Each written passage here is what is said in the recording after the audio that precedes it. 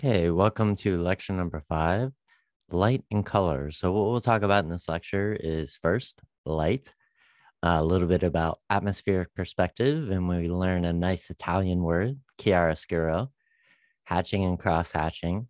Uh, and we'll look at a work in progress, Mary Cassatt's in the Loge. And we'll look at value.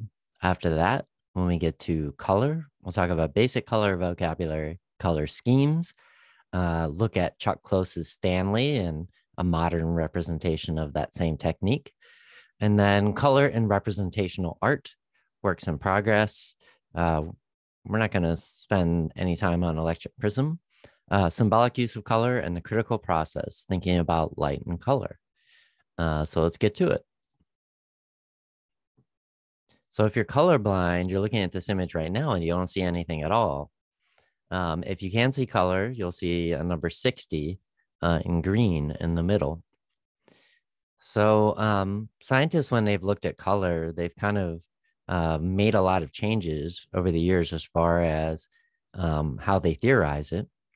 Um, so in the 17th century, uh, Isaac Newton said, we see color because some colors of the spectrum are absorbed and some are reflected. And that's pretty close to how we see color uh, when we're looking at surfaces. So light and color create space, um, meaning they create um, when you're most of the time when you're making art with light and color, a lot of times you're using two dimensional works. So light and color can create the illusion of three dimensions. Uh, so colorblind people, as a result, uh, when they look at the real world, they perceive space uh, slightly differently, and that's the same with animals who don't seem the same same span of colors that we see. So first looking at light, we're looking at Le Corbusier and his um, church called Notre Dame du Haut uh, Ronchamp. And uh, the idea with light as a subject uh, comes from Gothic cathedrals. So starting in the 12th uh, century. And Le Corbusier, even though he's a modernist artist, meaning he's an artist that uh, started to make his work in the first half of the 20th century. Um, he also, when he was commissioned to make a church, used light as a subject. So when you're inside of this church, uh, you can see light and it has um, a meaning to it. Uh, it's a spiritual type of light. So, atmospheric perspective, you can have a lot of examples, but the textbook I used to use for this class uses a Virgin of the Rocks uh, but maybe not the best version of it. So I'm going to show you another version of it that enables you to see atmospheric perspective a little bit better. So atmospheric or aerial perspective, um, a technique often employed in landscape painting designed to suggest three-dimensional space and a two-dimensional space of the picture plane, and in which forms and objects distant from the viewer become less distinct, often bluer or cooler in color, and contrast among the various distant elements is greatly reduced. Uh, so we can look at the next slide, which is another version of the same painting. And if you look in the background, uh, the mountains are in the far background. You can see they're cloudy in the one on the left. And the one on the right, uh, they kind of turn blue. So most of you live in Michigan and might not have ever lived in an area where you have hills and you can see them very far away. But I can confirm that you stand on a big hill and you see hills in the background or a mountain uh, that they turn kind of bluish and fade out. So that's atmospheric perspective, and it gives you the impression that things are very far away. Um, and part of the reason we see this is because we're literally looking through the blue sky. Uh, so everything looks blue when it's very far away. So JMW Turner kind of takes advantage of this sort of technique and does something a little bit more expressive with it. Um, so in the Brunnen from the Lake of Lucerne, uh, Sayre says dominance of light over line. The space is created by light instead of line. Uh, so when you see this at first, you might not be able to figure out what's going on, but when you start to see the details, you can see there's a lake, um, some people on rafts in the lake, and some houses here and then um, a mountain in the background. And by using atmospheric perspective and making everything kind of obscured, almost as if we're seeing it through clouds, it gives you the impression that um, the mountain in the background is very, very far away. but also creates a sense of mystery. Like if you live here, you may see clouds that look like this. So you might think, oh, is that a mountain in the background or is it just cloud forms?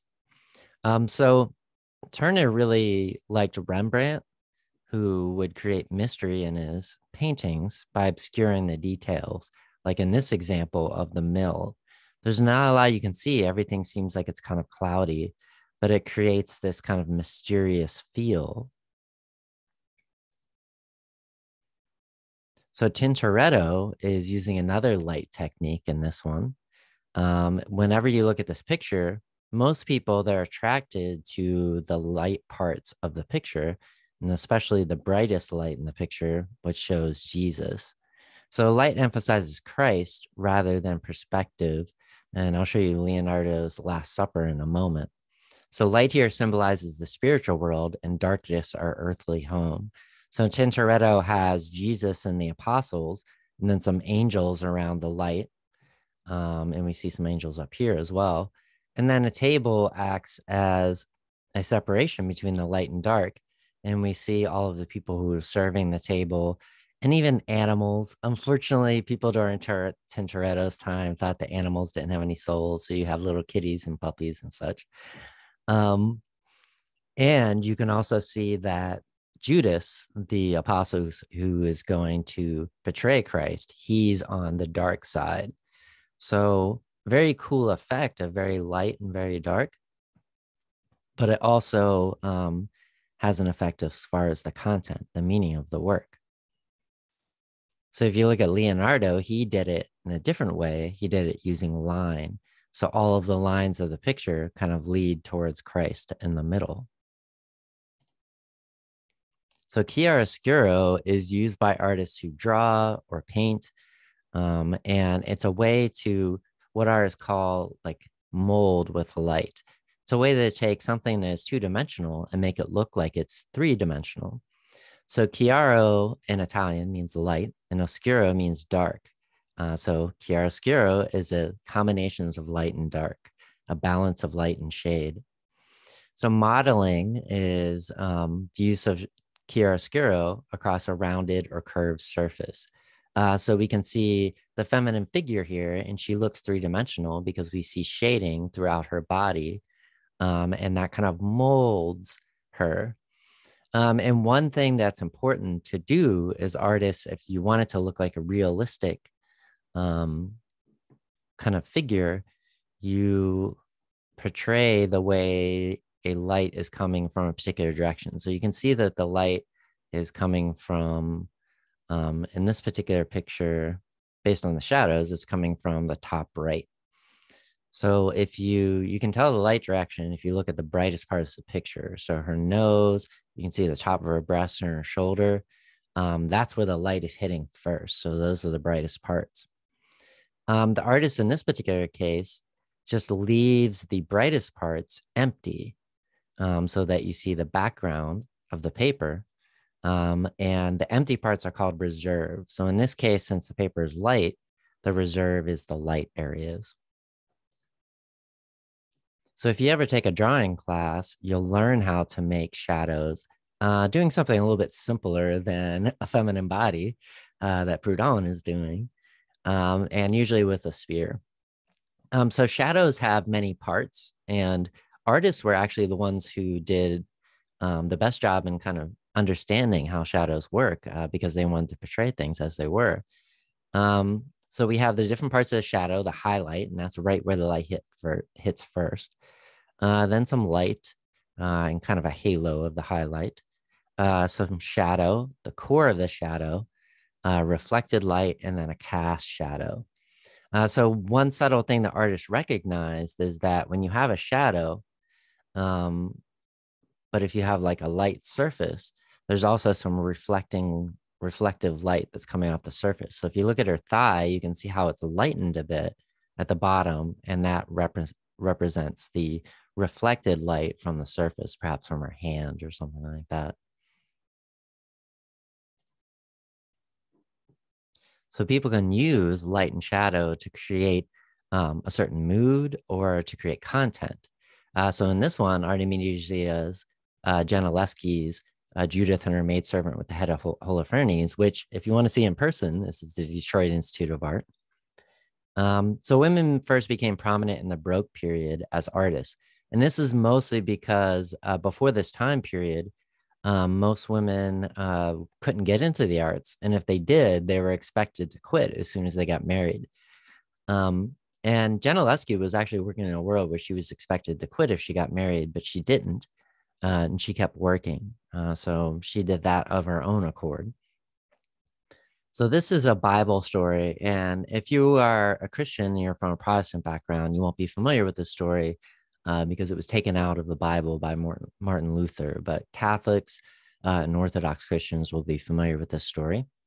So in the story, Judith, who is a heroine, the entire book is about her.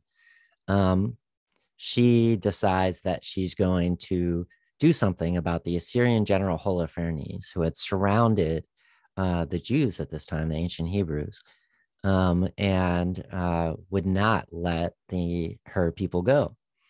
Um, so she made, she was supposed to be very, very beautiful. Uh, so she made her way into the camp uh, with her maidservant. And, you know, you can imagine the guards at the camp, the Assyrian guards were like, yeah, come on in. You two are looking fine. Uh, and they had a plan that they would get him drunk um, and all of his people really drunk, you know, with the promise of maybe something they could get from these two women. Um, and they would just like pour all their drinks out and let everybody else get really drunk. And uh, when they passed out, uh, they would take his sword and cut off his head. Uh, they successfully did so. And you can see Judith right here still holding the sword. And her maidservant is stuffing the head of Holofernes into a bag so they can take it back to the Hebrews. And the Hebrews know that the Assyrian army is now headless, literally, uh, but there's no general. Uh, so many people wondered why Gentileschi would pick this particular story uh, to paint over and over again. One reason is it was a really popular story for painters at this time. Uh, but the other reason is that Gentileschi, uh, her first art teacher, which her father um, hooked her up with, uh, raped her. Um, and she actually told her father that this teacher raped her. Um, and they tried to prosecute him, uh, but he was never convicted. Um, so you might imagine how she would find a story like this, where a woman um, takes down a powerful man uh, who has wronged her. So Gentileschi uses kind of an extreme form of chiaroscuro called tenebrism. Uh, and it comes from the Italian word, word tenebroso, which means murky. And in this way, it can kind of add drama to a scene. Like in the theater, people use a spotlight and darken the rest of the stage for drama. We can see that the candlelight um, acts as a spotlight. Um, it obscures somewhat the head being stuffed into the bag, uh, but we see the light on both Judith and um, her maidservant. And you can see how they're kind of looking to make sure that nobody's waking up to find them. So, light can be a way to make interesting content and moods. So, hatching and cross hatching is um, a series of techniques that are used by people who are drawing when you can't change the thickness of your line. Uh, so, drawing when you're using pen, especially when you only have one choice of thickness of line, uh, you can create shadows um, by using hatching, which is an area of closely spaced parallel lines to create an effect of shading or modeling. So the shading we looked at in the previous slides. So you can see some of the hatching going on here in the neck. And then cross hatching is what's going on in a lot of other places here uh, on the cheek uh, to kind of create the, the prominent cheekbones and the kind of way that the um, cheek of this particular figure sinks in a little bit. So cross hatching two or more sets of roughly parallel and overlapping lines set an angle to one another uh, to create a sense of three dimensionality and modeled space. Um, so you can pick out the various uses of hatching and cross hatching in this drawing. So with this one, the Loge, uh, we have a lot of things going on with uh, light and shadow uh, to create something that actually exists or seems to exist outside of the frame. So we have a diagonal composition, and you can see the original um, kind of planning drawing with this one. And this is Mary Stevenson Cassatt. Uh, so this is our study at the top, and then the finished painting right here. Um, and it kind of deals with something that is interesting. Uh, it's the concept of the male gaze. Uh, and the male gaze is usually used to think of um, in art to talk about how um, images of women, uh, feminine images, are usually or almost always, depending on the period, created by men. Um, so this gaze can affect uh, certainly the way that uh, women are portrayed in art, but also how women experience the world, uh, where men believe that they can define women, um, how they should look. Uh, and even in the case of this particular picture, uh, can look at them and almost possess them through this look. Uh, so we see how uh, the feminine figure is looking with her opera glasses towards the stage, uh, but um, this guy that is across the balcony is looking at the feminine figure. Uh, so almost her comment on she wouldn't have known the phrase male gaze, but she'd understand it because she's a woman in the world. She knows that um, that you often have men's eyes laying on you at all times. So when you're talking about value, uh, you're talking about uh, naming the uh, relative lightness or darkness of a picture and the colors employed in it. So if something has um, a high value, you'll say that it's it's got lots of light colors. Um, and then if it's a low value, uh, then we'll say that it has uh, lots of dark colors.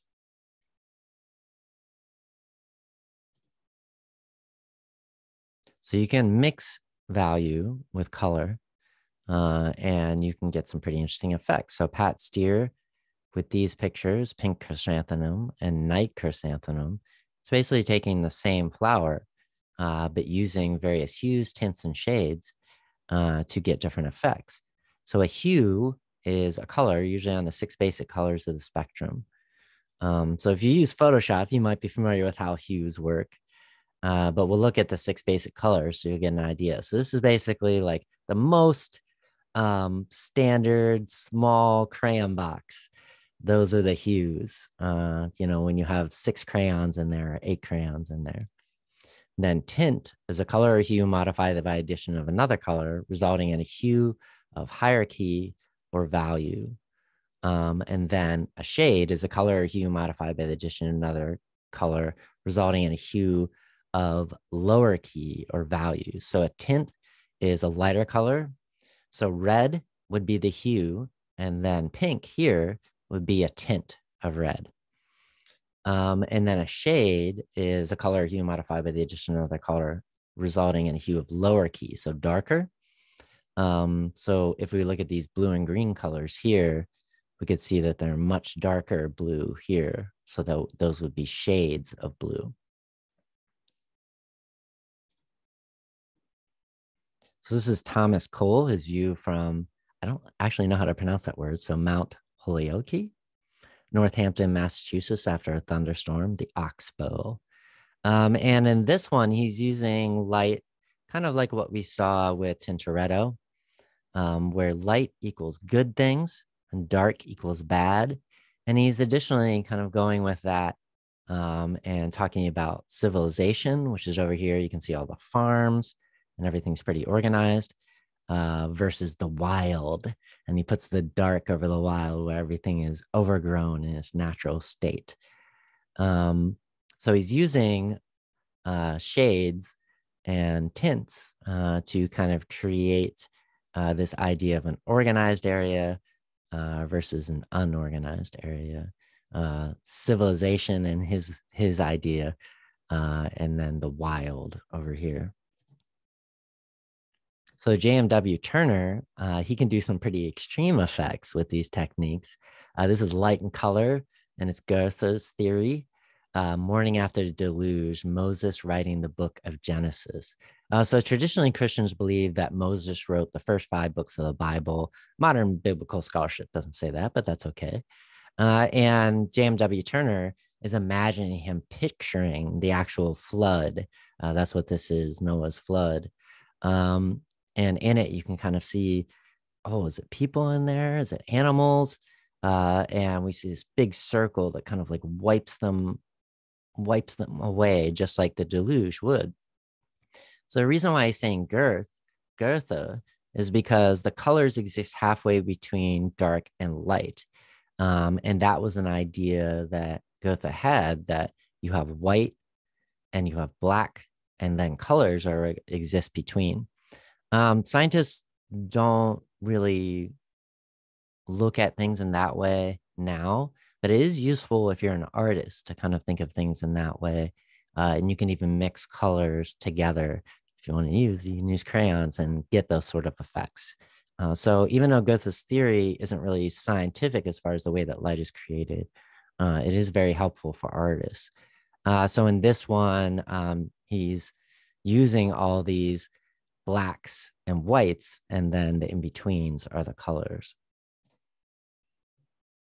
In this one, uh, Nikolai um, Buglaj is doing a racing sideways. Uh, so kind of having using value where you have a white figure and then you have a black figure uh, and then the, the outfit's going from white to black and perhaps thinking about um, the picture and what it could say about race uh, so maybe perhaps specifically about stereotypes about race and athleticism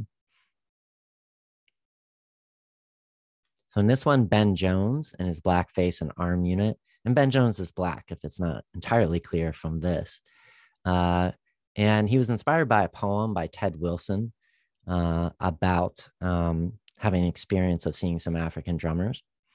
Uh, and he made these pieces with um, open color schemes. So that means color schemes that are just using all of the colors. Uh, but as you can see, we have lots of darkness in the faces, uh, but also lots of bright and saturated colors. And I'll talk about what all those words mean uh, in just a moment. Uh, so, kind of representing um, joy, but also like kind of a density of decoration, uh, like Ted Wilson would be hearing in the drums, uh, but making it in the art himself. Um, so this one is an Oni head from the Ife people. Uh, and the Ife people are an ancient people, but in modern times, uh, the Yoruba uh, in West Africa who live mostly in Nigeria, but in some other countries as well, uh, see the um, Ife as being their ancestors. Um, so we can kind of see that this is what Ben Jones was probably working with uh, when he made his uh, faces in the previous slide. So for the Ife, this is a very idealized and beautiful face. So you can see the perfect symmetry, uh, an incredible shape of the eyes and the nose and the mouth. Uh, and Ben Jones is using um, these heads from ancient Ife as inspiration. So Okon Akpan Abuje, who's Nigerian, uh, he's also using colors. So one thing to think about with colors is that they'll often have symbols, symbolism to them, but the symbols will be different in different cultures. So there is no universal um, kind of idea about what color means. So this particular piece was made for a Nuomo shrine, um, which is uh, is what they make whenever there's the death of an EBA Owo society member. Uh, so in West Africa, a lot of cultures they have societies that um, kind of like organize different ways of life.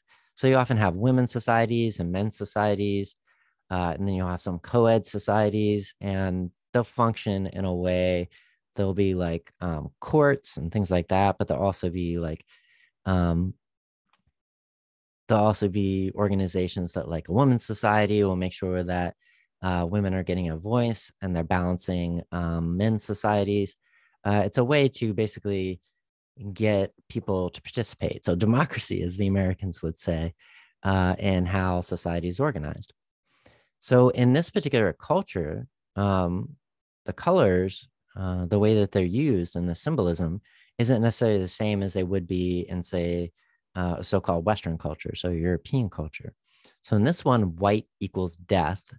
Uh, and a lot of West African societies kind of look at that, like they'll have uh, white painted figures that will represent death or uh, figures from the spiritual world. And then black equals life. And you can see it with these blackened fish that people are cooking over a pot. So it makes sense that it's life because that's good stuff and you need to eat for life. And then red equals the blood of the warrior. And then we see combinations of these colors throughout. Um, so remember, when you think of colors, there is no universal color meaning. It depends on the culture. Uh, and different cultures will use different color meanings. And even within a culture, uh, depending on who's using it, there'll be different color meanings. So basic color vocabulary, uh, the picture on the top showing colors separated by a prism uh, is the way that color works with light. Um, and this is very scientific. Uh, so if you take white light and the sun is an example of white light uh, and put it through a prism, it'll break up light into its components. Uh, and you can see that it's made out of red, orange, yellow, green, blue, and violet. Uh, and scientists know that violet is the highest frequency of light. Uh, light is just electromagnetic energy. Uh, and the frequency that we can see, the highest frequency we can see is violet and the lowest frequency we can see is red. So light that we can't see that's on a higher frequency just above it is called ultraviolet. Uh, and just below it um, that we can't see is called infrared. Um, so the way that color is used has extreme complexity throughout the world because again, it's based on culture. Even the way that people would define colors is based on culture. Um, so the spectrum is scientific, but as far as how actually colors are actually used, it'll be different in different cultures. Uh, so the primary colors, and again, this is kind of like a isn't the way that every culture thinks of it, uh, but probably most do, uh, is red, yellow, and blue. And you can kind of see with this color wheel right here how that's set up. We have we have yellow right here, blue right here, and actually I should change the color because that's not the best looking blue uh, and then red over here. And you see how they're evenly spaced throughout uh, this color. And then the rest of the colors are in between those. So primary colors are red, yellow, and blue. The secondary colors are orange, green, and violet. So you can see them exactly between um, each of the primary colors. And then the intermediate colors are primary and the neighboring secondary. So an intermediate color between yellow and orange is yellow orange. Although you might have fancier names for it. And then same thing with um, yellow and green. We have yellow, green. So primary colors, yellow, um, secondary color, green, and then the tertiary color or intermediate color is yellow, green. So there's a couple of different ways of mixing color and you get two different results depending.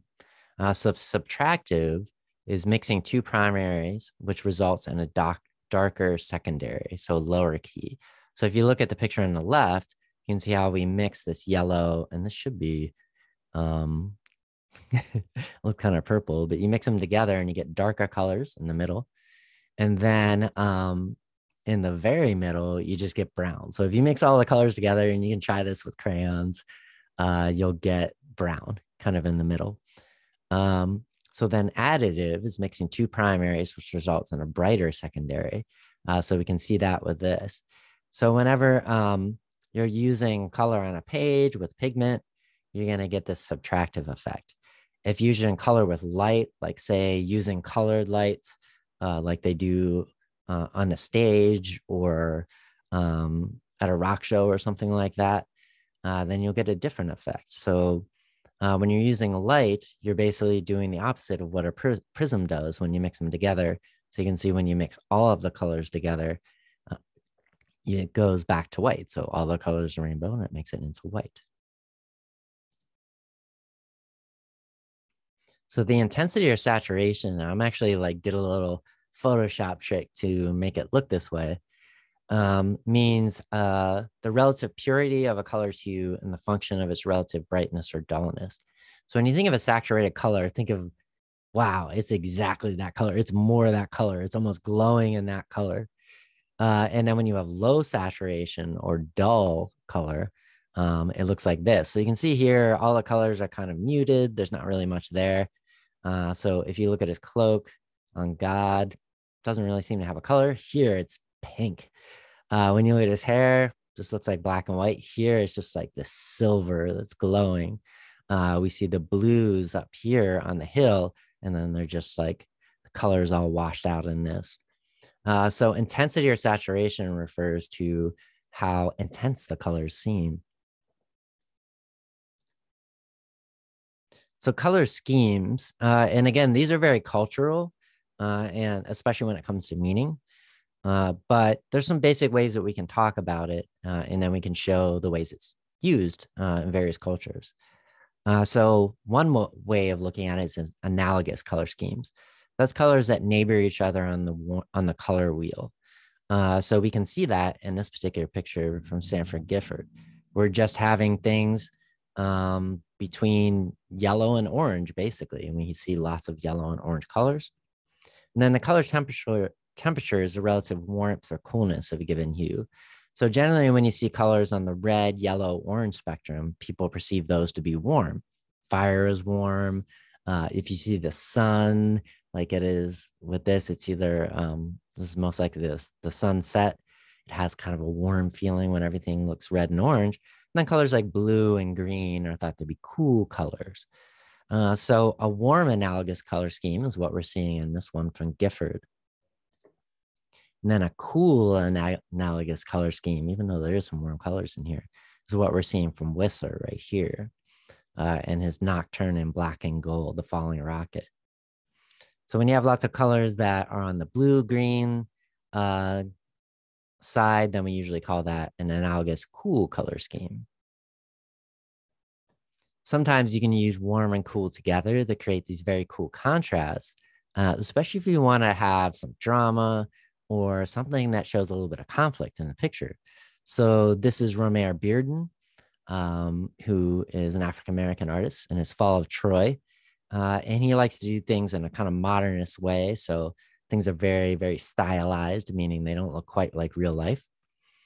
Um, and you can see with this one, if you're familiar with the, the story of Troy, uh, the Greeks, they attacked the Trojans and burned down their castle uh, after using this horse, which is pictured right here, um, to sneak in some of the Greek soldiers. So he's got lots of blue, the blue cool water um, right here. Uh, and that's how the Greeks make their way over here. Uh, and it's kind of peaceful. And you see the same thing with the um, castle. But then when you put the red and yellow on there, uh, it has this kind of anger effect. Put the two together, um, and you have a conflict. Um, so in the story of Troy, even though it's wrote, wrote by the written by the Greeks, the Greeks seem very violent and angry, uh, whereas the Trojans are seen as more peaceful. Uh, so you can use a cool color scheme to represent, you know, peace or calm, uh, and sometimes warm, or even in this case, when it's lots of red, we would say it's a hot color scheme uh, to represent things that are more intense or even violence in this case. So sometimes you can use color effects uh, in interesting ways. Uh, so this is one where you can kind of stare at it for a while while I'm talking uh, and it helps if you just keep your eye very, very still, like stare at the middle of the picture, for instance. Um, and then do that for about 30 seconds. And then when you close your eyes, uh, you'll be able to see an after image. Um, and what it'll look like is the two figures are the opposite color and the background um, is the opposite color. So the background will look green when you close your eyes, and the two figures will look red um, so when you have these very, very intense complementary color schemes, meaning opposites on the color wheel, uh, like this with no borders in between them, you can have those sorts of effects. Um, so the after image is a tendency of an eye to see the complementary color of an image after it's removed. Um, so again, try that, you know, really stare into the middle of this picture um, and then look away and close your eyes and you'll, you'll see something uh, that seems kind of brighter. Uh, so Golub has taken advantage of this effect in Mercenaries 3, this intense clash between the red and the green, to show what these men do. Uh, they're hired uh, killers by various countries around the world, including including the United States. Um, so these are violent men, and they they do violence for money. Uh, so the intensity of the red versus the green um, kind of a, kind of makes an intense effect uh, that represents what these men do. So in this one, Georges Seurat, he's dealing with a a kind of hypothesis about color that you may or may not think works, but it sort of does, sort of doesn't. Uh, and this style came to be called pointillism, uh, small points of complementary color, and they kind of mix in the eye. Uh, that was the idea. He actually called it divisionism. So his idea was is that just like when we mix color in the page, if you put and you can do this with crayons, uh, if you put red if you put yellow and blue together, what do you get? It makes green. Um, when you do the crayons together, he's basically going with that effect. So instead of painting green, he paints tiny dots right next to each other um, with um, the colors, the primaries or secondaries that are on the sides of the color that he wants to make.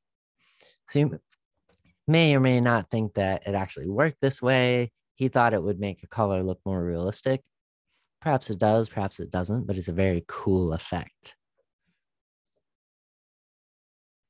So this is the Munsell color wheel because when people first looked at made the color wheel, um, they realized over time that it doesn't quite work uh, exactly how it should. Uh, so the traditional color wheel doesn't really express true complementary color relations. Um, and we already kind of saw that with mercenaries before. Um, and you can see that by kind of looking at the after image and you see, yeah, the opposites aren't quite what they are in a color wheel. So the Munsell color wheel is to fix that. Uh, instead of having three primaries, you have five of them, yellow, green, blue, violet, and red. And then if you were to make um, images with complementary colors, uh, then you would get an after image that is closer to this color wheel than it is the original color wheel that we looked at. And a lot of cultures understood that a long time ago uh, because sometimes they would see it in nature and then they would use it uh, in their pictures. Uh, so, in the case of this feather mask um, from the, I actually don't know how to pronounce uh, this culture's name, but they live in Brazil. Uh, and they use the feathers of a really cool bird that has this blue violet uh, orange and yellow kind of color scheme. Uh, and they happen to be opposites on the Munsell color wheel. Uh, so perhaps this bird evolved these opposites uh, to make it a little bit more difficult to pinpoint their position or for some kind of camouflage. Uh, but as you can see, when you put it in this colored mask, it just makes everything very intense as if it seems to glow. So Charles Searles, uh, who's another African American artist, um, he, uh, like many African Americans in the 60s, started taking trips to Africa, uh, talking to people there, learning about African cultures. Uh, and he took a trip to Nigeria uh, and he went to a series of outdoor shops. Um, and people were just, he was just like amazed when he was there. He's like, look at all these things that people are selling. Like everyone seems to be talking at once. Everyone's clothes are just so colorful. Uh, it's just like this incredibly energetic, almost like musical environment. The sun is super bright. Um, that's because it's closer to the equator. Uh, and everything is just seems more intense uh, and um, kind of more energetic than anything. So he uses what's called an open palette to get this effect. So uh, a restricted versus an open palette. A closed or restricted palette is one employing only a few colors an open palette is one use, utilizing the full range of hues. So a lot of times artists, if they want to have an effect that's a little bit more still, they'll use closed palettes. Um, you know, maybe with complementary colors, but maybe not. And then um, if artists want to have like a lot more energy and in the sense that there's so much going on, you can't possibly bring it in, you can use an open palette like um, Searles has done here. Uh, so it's called Filas for sale. Uh, and Filas are these hats right here. Um, and the people that are pictured here are, are the Hausa people. Uh, and I remember um, the first time I taught this class, uh, there was a student in class, and she was Hausa, uh, and she was talking about going to when she was a small child going to um, open markets like this. So sometimes artists can do some very interesting things uh, with color, where if you see it very closely, it doesn't seem to be anything, uh, but you see from far away, it becomes something. Uh, so this is Chuck Close and his picture of Stanley. Uh, so when you see the picture from far away, and it is huge, it looks like the one on the right. But when you get in close, this is what you see. You just see circles of color. Uh, and by placing these in just the right way uh, to create highlights and hues and shades, uh, when you get far away, then this person shows up in a hyper realistic way. So it's very expressive when you get close to it, uh, but then it's hyper realistic when you get far away. Uh, so I'll include a link that's pictured here to uh, the picture of George Bush.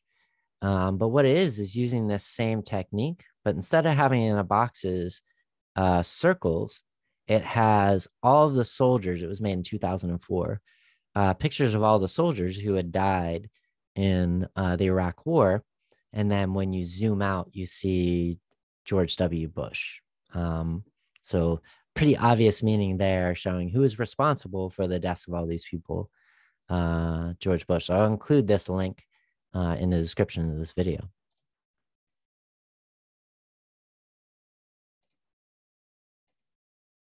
So color and representational art. There's a couple of different ways of using color. The simplest way is um, local color. And this is what you do when you're a kid when you have your crayon box. You say, Oh, I'm going to paint a fire hydrant. Fire hydrants are red. You get your red crayon. I want to paint um, some bricks. And then you get the red. you get the red crayon again. It's like the tree has green leaves. So you get the green crayon. Uh, and it's just like the basic color as if it existed away from the atmosphere and the light. Uh, it's it's not like a color you would ever see in real life. So local color is the actual color of an object independent of light or atmosphere. So if you were in a studio and you had these things and this perfect studio light, then yeah, it might look red or it might look green. Um, but local color isn't what you actually see uh, in most places. What you see instead is perceptual colors. Uh, and Claude Monet, uh, when he was looking at the art of his time in the 19th century, he said people are never portraying the way light actually looks and the way color actually looks. Uh, so if you think about it, like when you see things, uh, and if you, um, like when the sun's going down or when the sun's coming up, is the best way to see it. Uh, or you're inside of your house uh, and you have lamps on and they're very dim lamps versus like the middle of the day when the sun's coming in, you can see that things seem to be different colors. Uh, so if it's the sunrise, you might see lots of blues and purples. Uh, if it's a sunset, you might see lots of orange and warm colors. And that light will lay upon objects and they'll look like they're a different color. Uh, so we call those perceptual colors. Uh, and the way that Monet got this effect is he actually went outside and instead of doing drawings and then painting inside, he brought his canvas outside and tried to portray the colors that he saw as he saw them. It meant that he had to make the paintings pretty quickly. So you can see here he's doing lots of strokes very quickly, but it does get the effect of perceptual colors that wasn't really being portrayed in art until he started doing it. Um, and then Another way of using color is arbitrary color. And what arbitrary color means is basically you look at things and you say, I can pick whatever color I want. So is this woman an orange person? Uh, no, she's not. you know, is this person purple? I don't think so. Uh, does all these background plants are they like purple and light blue? No, but uh, with arbitrary color, you can pick it whatever you want and you can get a cool color scheme, almost like a design if you were painting your walls. So, the symbolic use of color, uh, many different painters use uh, different effects uh, in um, in symbolic color. Uh, so again, these are cultural ideas. So a lot of times, if you look at this painting from Vincent van Gogh, The Night Cafe, you're like red and green. That's Christmas. Uh, but that's not what uh, red and green meant in 19th century France. Instead, he tried to pick the ugliest greens he could and the ugliest reds that he could, which are opposites. Uh, and by putting these together to make something kind of ugly, uh, and he talks about in this quote, I don't have to read the whole thing, I can summarize it for you. Uh, that in this picture, um, it shows the ugliest combination of red and green. And it shows that the cafe, which is a bar, um, this is a place where people can go to um, kind of lose their minds. And Van Gogh, uh, his favorite color was yellow. Uh, so oftentimes, if he puts himself in a picture, uh, you can pick it out. So he's right here wearing the yellow hat. And you can see how everyone's stooped down. This is a bartender. this is the funny thing pharmacists are dressed like bartenders uh, in Europe, dressed in the 19th century. Perhaps they're doing the same job. Uh, and you can see how people had their heads down, uh, and the combination of red and green creates this intensity. Even his face is orange and his hair is green in this one. Uh, so Van Gogh himself had troubles with alcohol. Uh, so he's kind of portraying some of these, the troubles he's having by using red and green together. So in this one, Kandinsky and his black lines, and Kandinsky did a bunch of pictures like this uh, he believed that um, you could create pictures that people from any culture could relate to if you just use colors and lines. Uh, and there's something to that because uh, depending on how you make a picture, uh, even if it's a pretty realistic one, people from other cultures might perceive that as meaning something. But when you just have colors and lines, uh, they may perceive different meanings to the colors. Um, but there is something that they could get out of it. Um, so he talks about how all of these colors have very specific meanings to him. Uh, and he's hoping that um, people can get the meaning directly, regardless of what culture they're from.